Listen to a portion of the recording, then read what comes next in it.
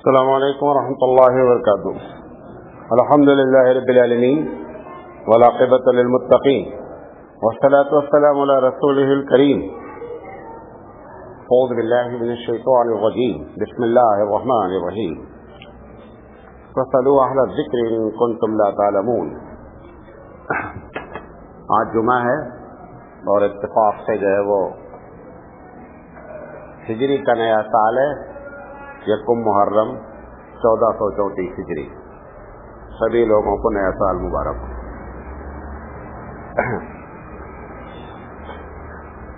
सवाल किया गया है कि क्या मुहर्रम के महीने में निकाह करना मना है? ये आप लोगों को एक मरता बताया ना कि चार किताब तो आसमानी है और एक किताब औरतों की बनाई हुई है। उसका नाम औरेत है। मौलाना हकानी रहमा कहते थे कि उसका नाम औरेत है। तो ये मसले जो मौलवी लोग नहीं बता पाते, वो सब वहाँ लिखे हैं। लेकिन वो किताब अवेलेबल नहीं है। ये सब खुराफात है। ठीक है? एक सवाल अजीब गरीब किया गया है, क्या तबलीगी जमात में शामिल होना ज़रूरी है? मैं तो चाह रहा था कि इसको अवॉइड करें, लेकिन मैं चाह रहा हूँ कि इस पर हम बात करें। अल्लाह के रसूल सल्लल्लाहु अलैहि वसल्लम ने फरमाया कि जो जमात से निकला, उसको भेड़िया खा गया। वो जिस माने में जमात है, उस माने में तबलीगी जमात जमात नहीं है। अभी अगर हम किसी तबलीगी जमात के बड़े से पूछे कि आपका बायलाज क्या है तो हमारे पास कोई बायलाज नहीं हकीकत क्या है? उसने तबलीग करने का एक काम अपने दिन में लेकर रखा है। वो कोई जमात नहीं है। जैसे लोग मशहूर कर दिए मसलके देवबंद। मसलके देवबंद कोई चीज़ नहीं है। मसलक तो अहले सुन्नत वल जमात है। मसलके देवबंद कोई चीज़ नहीं, लोग कहने लगे, ऐसे ही वो अलजमात नाम की जमात नहीं है। जिसको नज्म कहते हैं, जिसका एक दस्तूर होता है, जिसका एक बायलाज होता है, उस, उसने एक काम करने की ठानी कि लोग अल्लाह के दीन की तरफ़ से मुनहरिफ हो रहे लिहाजा हम ये काम करेंगे। इसीलिए तीन चीज़ों में से कोई चीज़ उसके पास नहीं है। नंबर एक बायलाज नहीं है। नंबर दो, अमीर के इंतखाब का तरीका नहीं है। नंबर तीन सेंट्रलाइज खजाना नहीं है।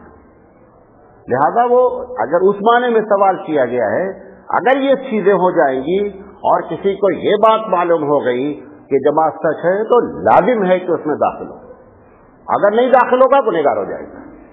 बात समझा रही लिहाजा उस माने में वो जमात अपने आप को न कहते हैं और न उस माने में वो जमात है। पूछा गया है कि अल्लाह के रसूल वसल्लम जब मेराज पर गए और चप्पल चप्पल उतारने लगे तो आवाज़ आई कि चप्पल पहनकर चले आइए। इसलिए कि आपकी चप्पल इस मुकाम से ज़्यादा अफजल है। टोटल बातिल है। अब हम बोलेंगे तो आप बोलेंगे, इन्हें देवबंदी है। यह अहमद रजा खान साहब ने लिखा है कि यह सबसे बातिल रवायत है। इसकी कोई हकीकत नहीं। और इसी दिन में तीन के तीनों वाकयात पर उन्होंने लिखा है कि टोटल बातिल है। एक तो वो वाकया जो आप सुनते रहते हैं जिनके मुकर्रीन कहते हैं कि जब मेराज पर अल्लाह के रसूल पहुँचे वहाँ जब पर्दा उठा तो देखा उधर भी मोहम्मद, इधर भी मोहम्मद। अहमद अल्लाह खान साहब से पूछा गया इस रवायत की, क्या हकीकत है अहमद अल्लाह खान साहब ने कहा कि टोटल बातिल है, झूठ है। समझे नहीं? ऐसी ही एक रवायत और भी है, बहरहाल इसका कोई कोई हकीकत इसकी नहीं है। पूछा गया, अगर हम टैक्स बचाने के लिए रिश्वत लेते, रिश्वत देते हैं, या फिर सरकारी काम करवाने के लिए पैसा देते हैं जो काम बगैर रिश्वत के नहीं होता है तो क्या रिश्वत देना होगा? देखिए, जो पहला वाला सवाल ये दो सवाल मिक्स है। एक आदमी रिश्वत देता है, उसका काम नहीं होता है। जो काम वो करवा रहा है, वो उसका हक है कि किया जाए।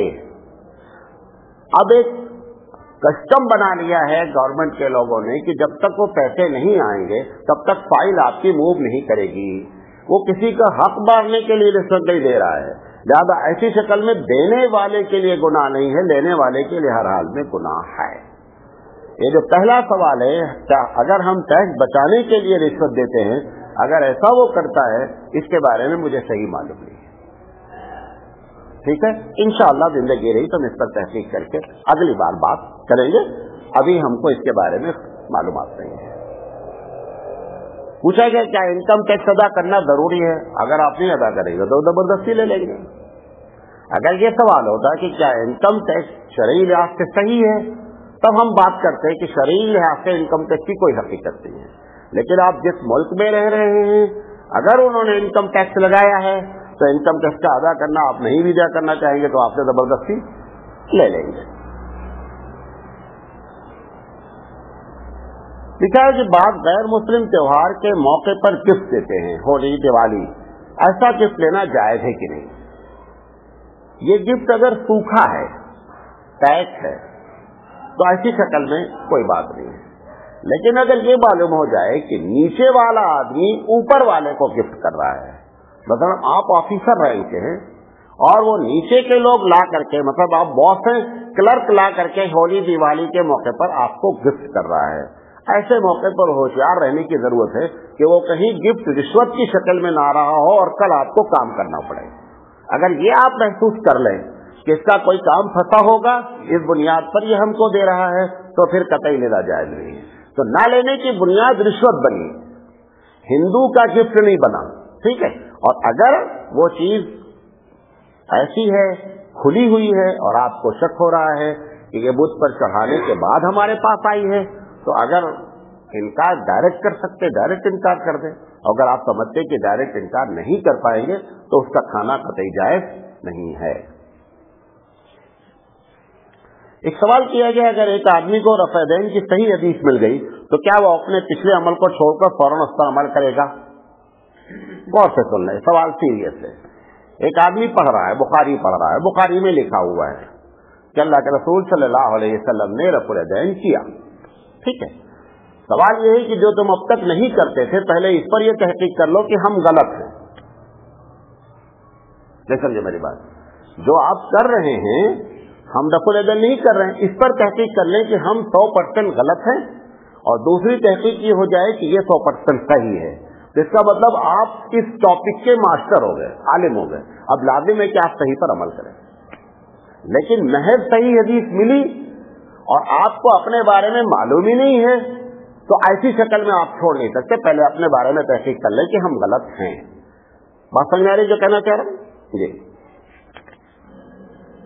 एक सवाल किया गया कि सीने पर हाथ बांधने की हदीस जो बुखारी में है, उसका नंबर बता दें और किस बाब में है। सवाल दो तरीके से किया जाता है। सवाल दो तरीके से किया जाता है। जब हम लोग पढ़ते, एक कोर्स होता है हाउ टू टॉक वो हमने किया, छह महीने का कोर्स होता है। तो बताता है कि जब आप गुफ्तगु करेंगे किसी से तो एक कुछ लोग ऐसे होते हैं कि एक पहले से स्टेटमेंट बनाते हैं। उस स्टेटमेंट पर अपना सवाल रखते हैं। अब ये पहले स्टेटमेंट बताया, बनाया गया कि सीने पर हाथ रखने की हदीस बुखारी में मौजूद है। ज़्यादा अब हमको क्या करना है, वो तलाश करना है कि बुखारी में हदीस कहाँ है।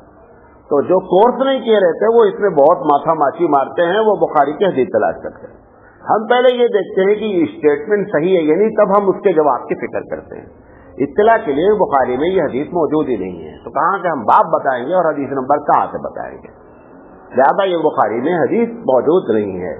बुखारी, मुस्लिम, तिरमिजी, नसाई, इबन माजा में हदीस मौजूद नहीं है। अबू दाऊद में हदीस मौजूद है, वो हदीस के बारे में है कि हदीस दईफ है। लेकिन चूँकि सवाल बुखारी का है बक्या हम इस पर गुफ्तु और कुछ पूछते तो हम बात करते हैं। वित्र की कितनी रकात है और हदीस में कितनी है और उसका सही तरीका क्या है? देखिए वित्र एक हदीस तो वित्र के बारे में यह है कि वित्र एक रकात है, तीन रकात है, पाँच रकात है, सात रकात है, बाद में नौ का भी रहे हैं। किसी गौर से सुनिएगा इस सवाल को, ये सीरियस मैटर है। किसी हदीस में यह नहीं लिखा है, तीन के अलावा की वितर पढ़ी कैसी हो दूर में।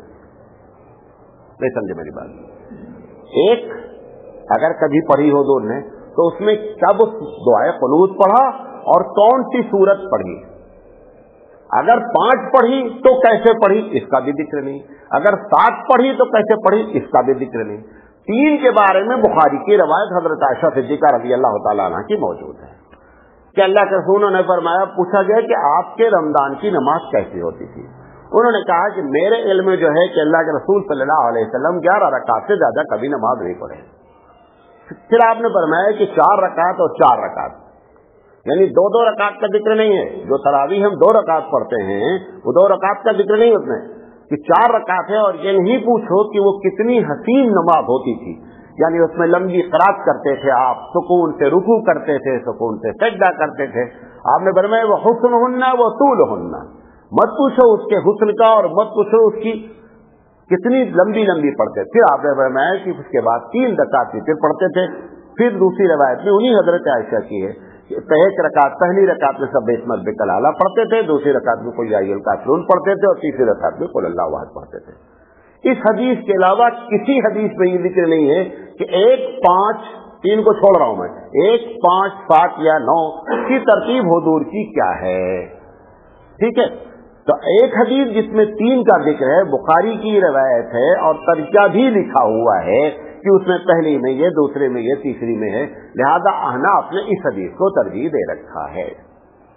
मुझे याद नहीं आ रहा है, अल्लामा इबन तैमिया रहमतुल्लाह ने कहीं ज़िक्र किया है कि एक रकात कोई नमाज़ ही नहीं होती है।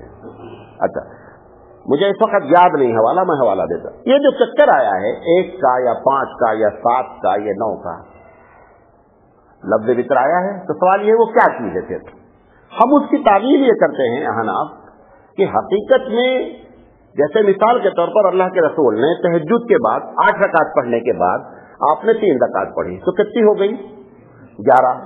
तो कभी सहाबी उसको तीन की रवायत करता है, कभी छह मानता है और उसको पाँच की रवायत करता है, और कभी चार मानता है तो उसको सात के बजाय नौ की रवायत कर देता है।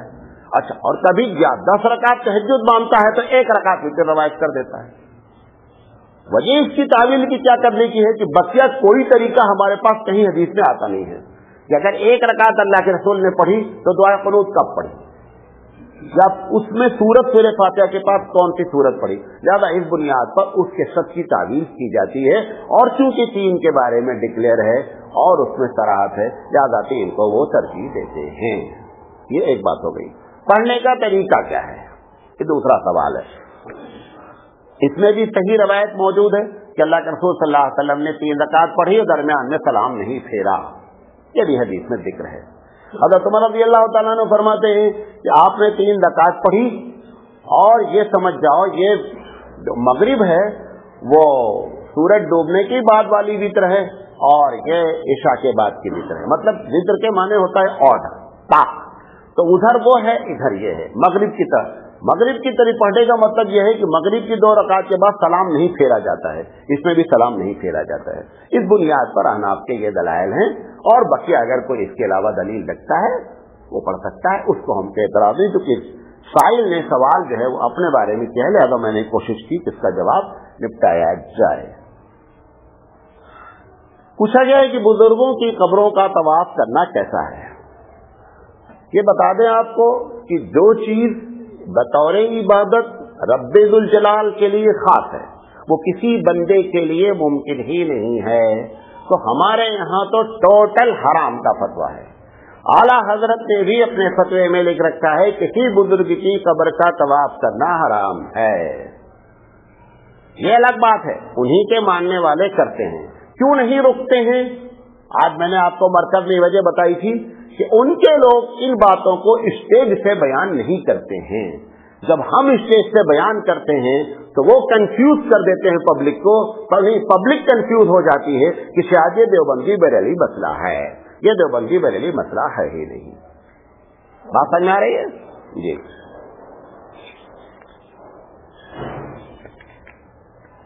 पूछा गया, मजार का बोसा लेना कैसा है? जैसे तवाफ करना ना जाएगा, वैसे अकीदत के तौर पर तकर्रुब के तौर पर, यानी इबादत के तौर पर बोसा लेना भी हराम है और आला हज़रत का भी यही फतवा है।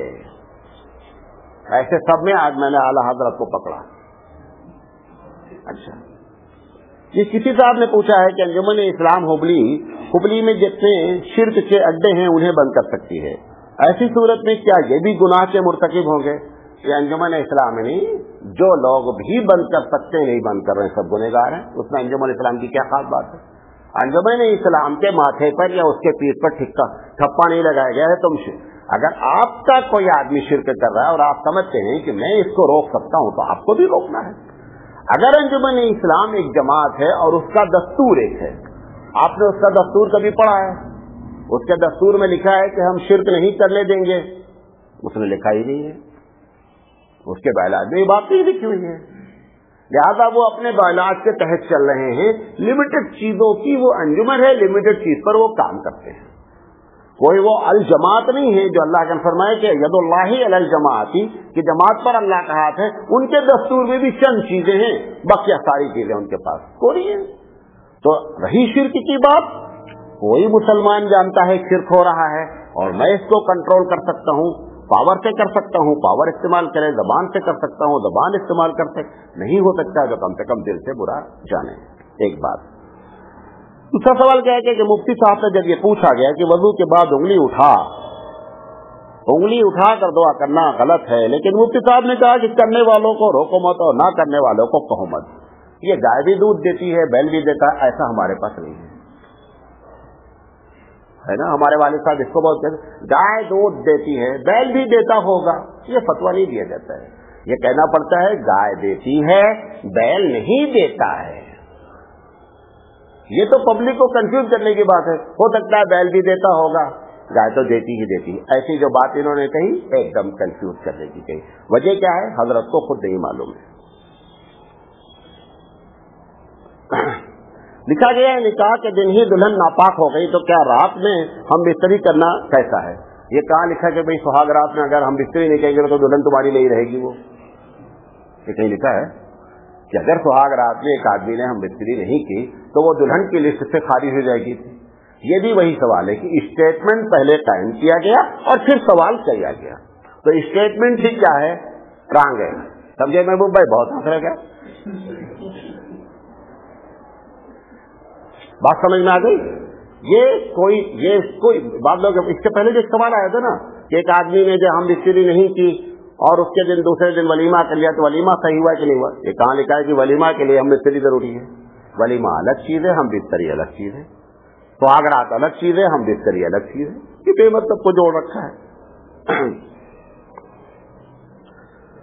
कल के दर्श में आपने कहा था कि कुरान पढ़ना इससे बढ़कर समझना बहुत फजील है। लेकिन कुछ मोली हजरात कहते हैं कि कुरान समझने के लिए चौदह ओलूम की ज़रूरत है।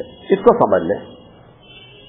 हम जो कहते हैं कि कुरान समझना ज़रूरी है, वो चौदह ओलूम के साथ ही कहते हैं। वो चौदह ओलूम वाले ने आपके लिए कुरान लिख दिया है।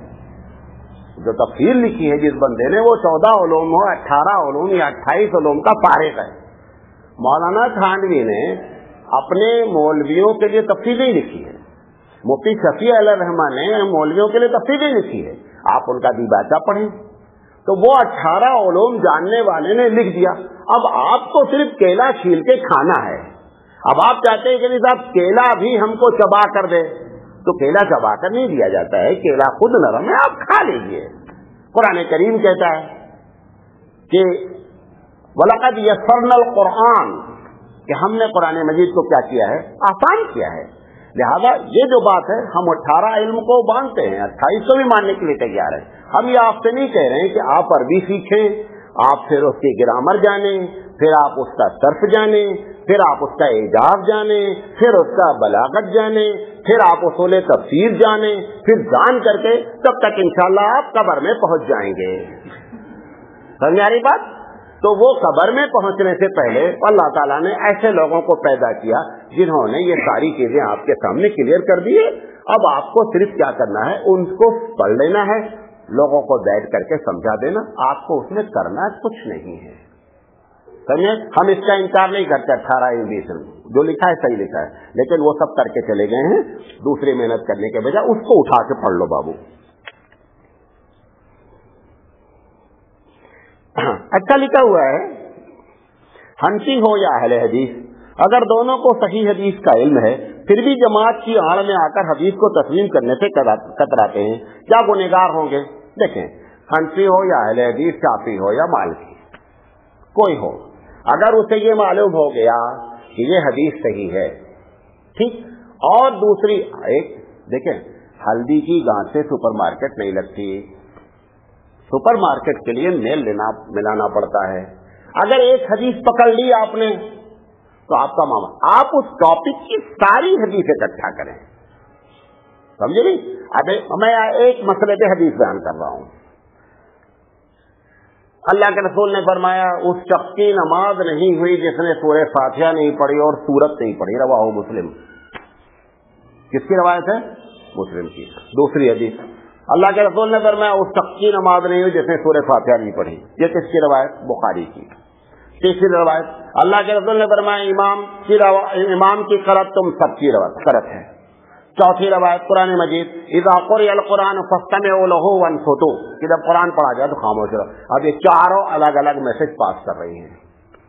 अब आप इस पर बैठ करके तहकीक करें। इसका मतलब कि आप डॉक्टर हैं या पेशेंट पहले अपने आप को यह तय कर लेना है। ये घर में जो पैरासीटामॉल लेकर हर वक्त खा लेते टीबी वाला पैरासीटामॉल से नहीं जाएगा मामला। वो टीबी का बुखार दूसरा होता है बाबू। वो पैरासीटामॉल जो आपने थोड़ा सा समझ लिया है कि पैरासीटामॉल खाएँगे और बुखार चला जाएगा, वो टीबी वाला नहीं जाना। पहले ये तहकीक करना, ये बुखार कौन सा है? सर्दी से आया है निमोनिया से आया है टीबी से आया है, थकान की वजह से, किस वजह से आया है? वो तहकीक करने के लिए आपको क्या बनना पड़ेगा? मास्टर। उतना बन नहीं पाते मास्टर। जाकर किसी मास्टर से पूछ लो कि भाई, इस कौन सी दवा खाए? क्योंकि मास्टर बनने में दस साल लगेगा एमबीबीएस करने में। उसके बेहतर है कि आप किसी मास्टर वो बेचारा जो दस साल लगाकर आ गया है ना, उससे जाकर मशवरा कर लो, बाबू कौन सी दवा खाए? तो अहले हदीस हो या हँसी हो, सही हदीस ऐसे डायरेक्ट आप समझ ही नहीं सकते हैं। क्यों? उसके कोई भी हदीस, अभी आपको बुखारी मुस्लिम की एक और हदीस नकल करते आशा सिद्दीका रज़ी अल्लाह तला फरमाती हैं कि अल्लाह के रसूल ने कभी भी घर कभी भी खड़े होकर पेशाब नहीं किया, जो कहे वो झूठा है। अब ओरा रज़ी अल्लाह तला कहते हैं कि मेरे सामने उदूर ने खड़े होकर पेशाब किया है। अब अगर उसको खड़े वाले को मिल गया तो वो खड़े होके ही मूतने की तबलीग शुरू कर देगा, भाई मैंने तो सही हदीस पढ़ी है। अब दूसरे वाले को जब ये रवायत मिलेगी, किताब का वो झूठा है तो ये उसको लाठी चलाना शुरू करेगा। अब बाबू बैठ के समझो कि मामला क्या है। तो सही हदीस ऐसे जैसे आप समझ रहे हैं ना कि खट से उठा ली जाती है और जो हम आठ साल जो बोरा फाड़ते हैं बैठ बैठ करके, ऐसे नहीं फाड़ते। हैं समझे? उसे फाड़ने में बड़ा टाइम लगता है। इसलिए लाजिम होता है कि बीमार ये तय कर ले कि हम पेशेंट हैं या डॉक्टर डॉक्टर हैं, अब ठीक है। गो है, आगे जाओ। तो वो गुनेगार कोई नहीं होता है।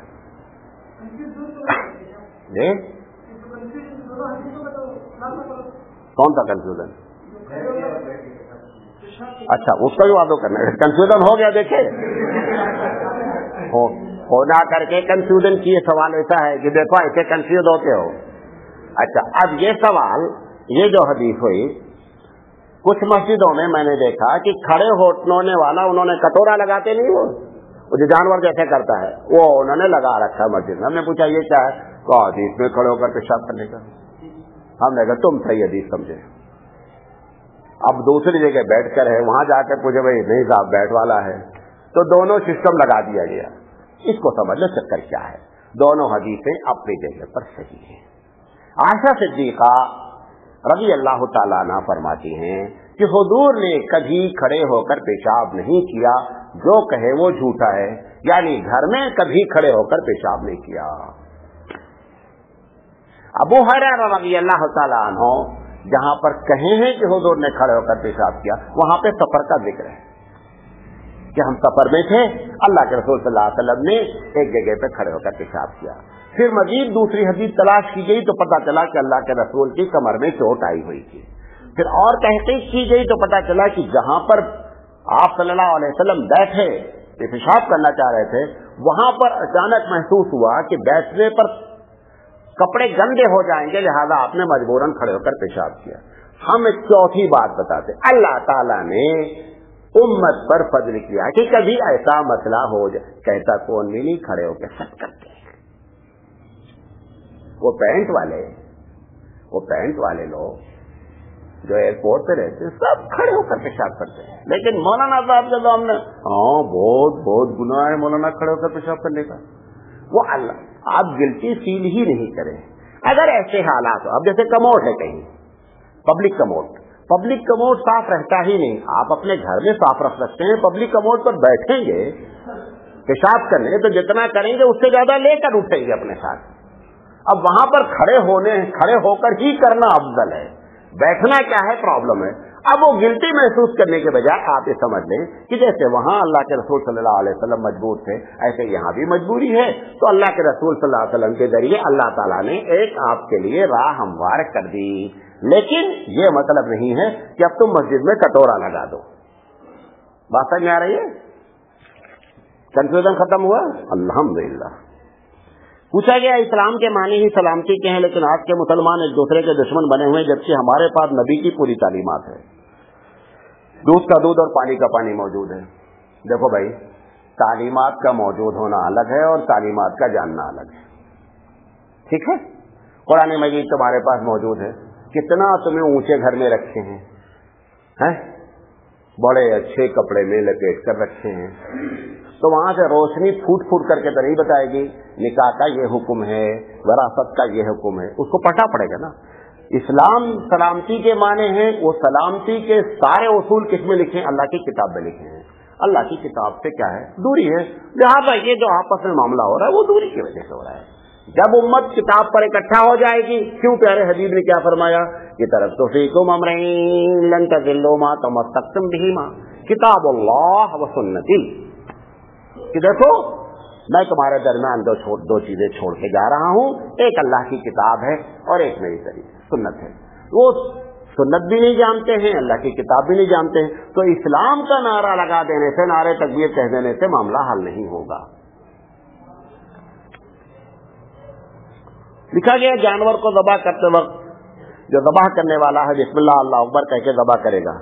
और ये भी है कि जानवर के दबा करने में मदद करने वाले, यानी उसको पकड़ने वाले भी बिस्मिल्लाह, अल्लाह अकबर कहेंगे। लेकिन यहाँ अमूमी एतबार से गैर मुस्लिम चिलाई कटाई का काम करता है, और वो मदद करता है पकड़ने में। वो बिस्मिल्लाह नहीं पड़ता है तो ऐसे गोश्त को खाया जा सकता है कि नहीं? अगर दावे ने बिस्मिल्लाह अकबर कह दिया है तो वो जो पकड़ने वाले हैं, मदद करने वाले हैं वो अगर नहीं कहेंगे तो गोश्त पर असर नहीं पड़ेगा।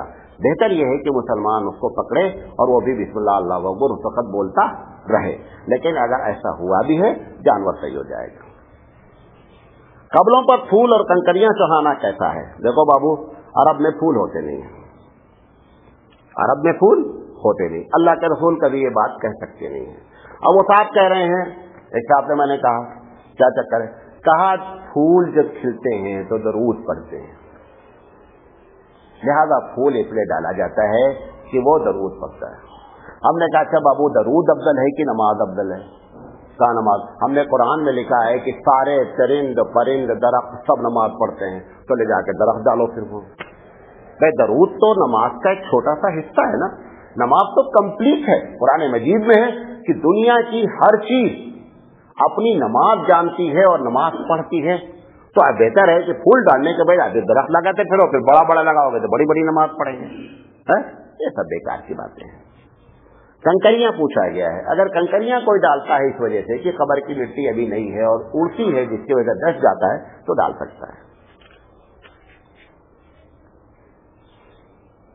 पूछा गया शादी में जो जेवर लड़कियों को दिया जाता है, क्या वो मेहर में अदा किया जा सकता है?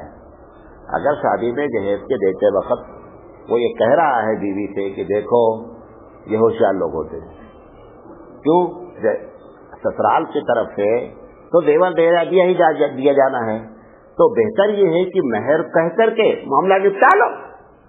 अगर उसने कह दिया कि देखो ये जो देवर दे रहे हैं चार तोले का इसमें दो तेरा दो तोला मेहर का है। वो कहेगा मेहर उसकी अदा हो जाएगी। लेकिन मेहर ये कि उसने नियत भी नहीं की है कहीं भी अपने तौर पर जो है ये समझे कि मेहर में दिया जाए, जो जहेज भी दिया जाएगा, उसमें मेहर अदा हो जाएगी। मेहर अदा नहीं होगी। पूछा गया, नहाने का सुन्नत तरीका क्या है? नहाने का सुन्नत तरीका जो है, एक नहाते हैं, फ्रेश होने के लिए। नहाना दो तरीके का होता है ना। एक नहाते हैं, फ्रेश होने के लिए, एक नहाते हैं, पाक होने के लिए। पाक होने वाला जो सुन्नत तरीका है वो तो अल्लाह के रसोल ने एकदम एग्जैक्ट बता दिया हमको। आपने फरमाया कि अगर नापाकी की बुनियाद पर कोई नहा रहा है तो सबसे पहले जिस वजह से नापाक हुआ उसको धुले। ठीक? उसके बाद आपने फरमाया, अगर उससे भी पहले की एक बात है कि अगर आपके पास नल का सिस्टम नहीं है इमाम मालिक रमा कहते हैं कि अगर तुमको बाल्टी से या चुल्लू से, चुल्लू होता नहीं, ऐसे निकाल निकाल के नहाना है तो उनका कहना है कि पहले उस हाथ को धुल लें आप। उसके बाद नापाकी जिस चीज़ की बुनियाद पर हुई उसको धुल लें और नापाक चीज़ को धुल लें उसके बाद वदू कर लें। वदू करने के बाद पैर नहीं धोलें। फिर दाहिनी तरफ़ पानी डालें और बाई तरफ़ पानी डालें। जब पूरा गुस्ल कर चुके तो पैर अलग से धुल लें। वो पैर उस वक्त ना धुलने की वजह या बाद में धुलने की वजह यह है कि अल्लाह के रसूल के जमाने में वो जमीनें कच्ची होती थी।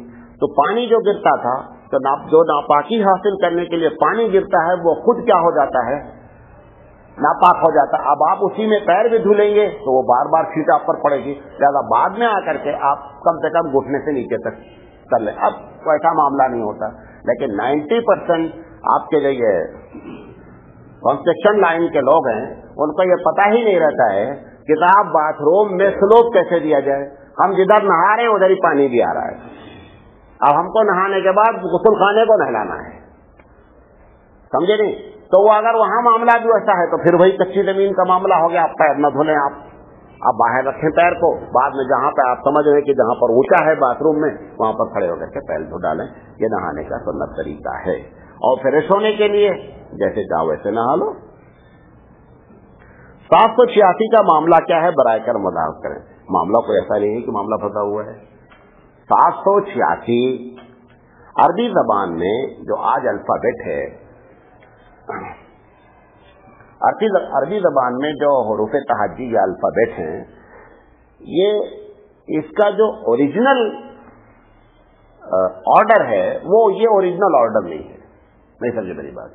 हम अभी पढ़ते हैं क्या अलिफ, बा, का, सा जीन या, पढ़ते चले जाते हैं। इसका जो ओरिजिनल ऑर्डर है, वो अलिफ, बा, जीन, दाल। जिसका आप कहते हैं अबजद हवज होती वो अबजद हवत गुत्ती का बहुत अरब का बहुत पुराना सिस्टम है कि उन्होंने हर लेटर को एक नंबर दे रखा है। बिस्मिल्लाहमान रहीम का वो सारा लफ्ज जब मिलाते हैं तो सात सौ छियासी होता है। तो चक्कर ये है, अगर ये पूछा जाता, क्या सुन्नत तरीका है तो हम आगे जवाब देते। वजाहत इसकी इतनी ही है। जितना आप सवाल करेंगे, उतना जवाब। पूछा गया है कि चारों इमाम बरक हैं। इसकी तस्दीक हदीस की रोशनी में करें। बहुत मुश्किल सवाल है। ये सवाल बहुत मुश्किल है कि चारों सो रहे हैं कामिल भाई। सोने के नहीं होने लगे अभी अभी चश्मा लगा लेंगे। अच्छा।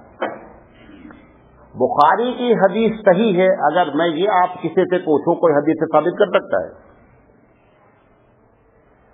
अल्लाह के रसूल ने कहीं ये कहा है कि बुखारी की हदीस सही है। है? जवाब उसका भी नहीं है, जवाब इसका भी नहीं है। और ये चारों इमाम ही नहीं, इमाम बहुत से हैं। ये चारों के सिक्के चल गए। वरना इमाम, बहुत से इमाम जुफर हैं, और क्या इमाम औदाई हैं, सुफियान सौरी हैं, बेशुमार इमाम हैं। इन्हीं चारों के सिक्के क्यों चलाए गए, चले? उसकी वजह समझ लीजिए ये तो हम नहीं बता पाएँगे पहला सवाल। क्योंकि आप जब उसका जवाब देंगे कि बुखारी की रवायत सही है, इस पर अमल करना तो हम इसका भी जवाब देंगे। समझ रही बात? उन्हीं के सिक्के क्यों चले, ये बता देते हैं आपको। इनकी जो पूरी दस्तूर हयात है, एक मुसलमान how to live in this world इस दुनिया में ज़िंदगी कैसे गुजारे, उन्होंने एक एक चैप्टर बना करके हर एक का मसला बयान कर दिया और उस मसले के नीचे उसकी दलील दे दी। अगर दलील नहीं मिली तो नोट चढ़ा दिया। बात समझे? नोट क्या चढ़ाया? कि भाई, इसकी दलील नहीं मिली है। हमारे दिमाग में ये मसला आता है। अगर हम तुम लोगों को इसके बाद कभी दलील मिल जाए तो हमारा मसला कचरे में डाल देना और दलील अगर कुरान हाथी से मिल जाएगा तो उस पर अमल कर लेना। ये उन्होंने नोट चढ़ा करके, अब वो तो सुबह दोष हो गए। उनसे कोई मतलब नहीं है। उन्होंने अल्लाह के रसूल सल्लल्लाहु अलैहि वसल्लम ने क्या फरमाया? मसला फंसेगा, क्या करोगे? क्या कुरान देखेंगे। कहा, मसला कुरान में हल नहीं होगा? कहा, हदीस देखेंगे। कहा, हदीस तो मसला नहीं होगा? आपने फरमाया कि सिमिलरिटी देखेंगे महाबिन जबल ने। कहा, अगर वो भी नहीं मिलेगा, कहा, इश्तेहार करेंगे। तो इन इमामों ने बैठ करके कुरान में मसला लिखा था। भाई, गलती इनकी इतनी ही है ना कि इन्होंने छिहत्तर में इकट्ठा कर दिया। बच्चा सब लिखा कुरान में। उन्होंने कुरान से तहारत के मसाइल निकाल दिए, नमाज़ के अब जो नहीं मिला, हदीस से निकाल दिया। वहाँ से नहीं मिला, कयास कर दिया। वहाँ से नहीं मिला इश्तेहाद कर दिया। अब इश्तेहाद में गलती होने के चांस है। अल्लाह के रसूल ने डिग्री दे दी कि अगर तुमने इश्तेहाद किया, गलती हो गई तो भी एक सवाब। लिहाजा उनको कोई फ़िक्र नहीं अगर इतिहाद में गलती हो सकती है। इंसान है, इंसान गलती कर सकता है। लिहाजा चारों इमाम के के बरहक होने की दलील ये अगर सवाल किया जाता कि ये कैसे मुमकिन है कि चारों सही हो सकते हैं, तब हम बहुत अच्छा जवाब देते हैं, क्योंकि सवाल नहीं किया गया जवाब भी नहीं देंगे। ये सवाल किया जा सकता है। ये आपकी भी तरबियत करना है। How to of the question first you have to know then I have to give the answer correct आपने सवाल किया उन चारों की दलील, हदीस चलाओ हदीस में कहीं नहीं लिखा इमाम निफा की बात मानो।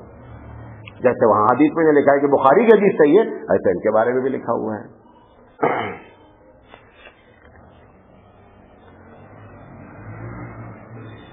पूछा गया है कि क्या तकदीर में हमारे अमाल भी शामिल हैं? देखो बाबू, तकदीर का मतलब होता है कि आप जो कुछ कर रहे हैं, ये रीप्ले है। मैं रिकॉर्ड कर रहा हूँ। अब मैं, किसी ने देखा नहीं है इसको रिकॉर्ड करते हुए। मैं कहीं जा रहा हूँ सफ़र में, कहीं बैठा मैं बोला कि देखो, अगर तुमने इसमें इसको ऑन किया तो ये ये बातें करेगा। जी बढ़िया तो कैसे मालूम हो गया आपको मौलाना को? उसको ये नहीं मालूम है कि ये रिकॉर्डेड है। वो समझ रहा है कि बड़ा कमाल वाला रिकॉर्डेड है। ये मौलाना उसको जानते हैं कि ये क्या क्या बात करेगा। ऐसे ही आप सब जो कुछ करना था, सब आप फीडेड है। ठीक है? फीडेड लफ्ज तो सही नहीं है। फीडेड में क्या होता है? कि जो सब्जेक्ट है, वो दूसरा है। और से सुनिएगा। टेक्निकल बात कहने जा रहा हूँ। फ़ीड हम जब कहते हैं कि आई फ़ीड इट मतलब हुआ कि सब्जेक्ट फ़ाइल करने वाला एक शख्स है। ये लफ्ज सही नहीं हम कह रहे अब जो गलती से निकल गया वो लफ्ज। जो कुछ भी आप कर रहे हैं, ये सब आपने एक मरतबा किया, लिहाजा उसको रिकॉर्ड कर दिया गया। अब रिकॉर्ड करने के बाद रीप्ले कर दिया गया। रीप्ले में सब कुछ शामिल है। वो आप करते चले जा रहे हैं। समझे नहीं? अब अब उस पर ये सवाल ये होना चाहिए था कि फिर बोलाना हमारी क्या गलती है? वो सवाल नहीं कह लेता हम जवाब नहीं देंगे। ये सब सवाल अब आप दोबारा कीजिएगा, इसीलिए बता रहा हूँ आपको।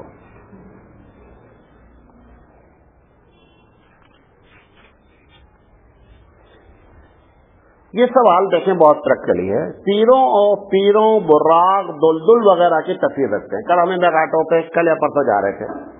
तो उसमें सामने एक बहुत से अजीब शख्सियत मौलाना साहब थे, यहाँ दाढ़ी है। वो बहुत से लोगों को देखा लगाते हुए। और उनके पीछे दो एक लोग थे, उनकी तस्वीर वो ऑटो में सबसे सामने। क्यों? अगर लड़े तो सबसे पहले इन्हों जाने का हम बात में जाते समझे नहीं? ये जो चक्कर है तस्वीर लगाने का, चाहे किसी बुज़ुर्ग की, और चाहे किसी पीर की, और चाहे किसी दुलदुल की, चाहे किसी बुराक की। देखा है आपने? घोड़े को पर लगाते हैं। हज़रत आयशा सिद्दीका रवि अल्लाह तला गुड़िया बना रही थी। गुड़िया तो जानते हैं ना? हाँ वो गुड़िया बना रही थी। गुड़िया बनाते बनाते उन्होंने उसके साइड में घोड़ा बनाया। घोड़े के साइड में पंख लगा दिए। अल्लाह के छोटी सी उम्र में। अल्लाह के रसूल देखे कुछ क्या बना रहे हैं भाई? का ये घोड़ा है। क्या घोड़े के तो पर होते नहीं। क्या तुम ना मालूम नहीं घोड़े के पर होते हैं। वो सलेमान सलाम का घोड़ा है जो उड़ता है। टक टक टक टक, घोड़ा भी है और बैक वक्त क्या है? वो उड़ने वाला भी है। बाद रवायत में और भी बातें आई हुई हैं। तो वो हदीस की वजह से अब लोगों ने क्या किया कि उन्होंने घर में लगाना शुरू कर दिया। समझे नहीं? वो अपने खेलने के लिए लगाए थे, ये इबादत के लिए लगा दिए जब वो खेलने के लिए लगाया था तो कभी पैर के नीचे पड़ेगा, कभी इधर फेंका जाएगा, कभी उधर फेंका जाएगा। जब आप इबादत के लिए लगाएँगे तो ऊपर लगाएँगे, खूबसूरत सी अगबत्ती लगाएँगे, फिर उसके सामने कुछ मांगे मांगेंगे, फिर उसके बाद उसके ऊपर फूल चढ़ेगा। सारी तस्वीर लगाना हराम है अकीदत, इबादत और एहतराम की नीयत से। और यही फतवा आला हज़रत का भी है। यही फतवा आला हज़रत का भी है। वो अलग बात है कि आला हज़रत के लोग ही लगा रहे हैं। पूछा गया है, उन्होंने लिखा है, उनके उनके जबान नकल कर रहा हूँ आला हज़रत की। अल्लाह ताला इबलीस लईन से पनाह दे। मतलब क्या? कि बहुत फंसाता हो हमको। हालाँकि वो हकीकत अपनी हरकत बातला से खुद उसने जो सवाल किया था कि हुदूर की तस्वीर, हरकत बातला से हजूर की सरीह नाफरमानी करा रहा है। अल्लाह के रसूल ने तस्वीर लगाने से मना किया है। इस पर पहले नाराज़ होने वाले तो हजूर हैं। और जो घरों पर पीर, इमाम, बुर्राक, दुलदुल की तस्वीर रखते हैं, जरा अपने अंजाम को सोचने की क्या होगा? ये आला हज़रत का फतवा है, और उनका फतवा जिल्द दुअम, मलफूजात जिल्द दुअम में यह फतवा नकल है। फिर चारों इमाम आ गए। अरे छोड़ो यार। चारों इमामों में से किसी एक इत्तबा करना क्यों ज़रूरी है? भाई देखो, जब आप बीमार होते हैं तो एक दिन एक डॉक्टर के पास जाते हैं, तीन दवा, तीन खुराक खा लिए। दूसरे दिन दूसरे डॉक्टर के पास जाते क्या करते हैं? क्या करते हैं? आपने मान लिया कि ये मास्टर है, आप सरेंडर हो जाते हैं। बोलता, भाई, दवा खाओ। नहीं फ़ायदा क्या डॉक्टर साहब? चेंज करता है। अब चारों इमाम में से किसी एक का ही दबा करना इसलिए ज़रूरी है कि आप मास्टर हैं नहीं। किसी एक की बात माननी है। इस बुनियाद पर कहा जाता है किसी एक की अगर आप मास्टर हो जाए सावल्ला रमतल्ला कहते हैं कि अगर कोई मुस्तहिद हो गया तो किसी इमाम की बात मानना उसके लिए लाजिम नहीं है। मैंने इसके पहले आपको जवाब दिया था, पूछा गया था कि अबू हनीफा किसी इमाम की बात मानते हैं। तो मैंने क्या कहा था कि अबू हनीफा खुद मुस्तहिद है मुस्तहिद किसी इमाम के पास ताबे नहीं होता है, वो जहाँ फंसता है, वो खुद इश्तेहार करता है। लिहाजा किसी एक बात की मानने का मतलब यह है, ताकि आपकी ज़िंदगी एक शेड्यूल के तहत आ जाए। वरना क्या नतीजा निकलेगा? वरना नतीजा निकलेगा कि आप मिस्टिकल हो जाएँगे।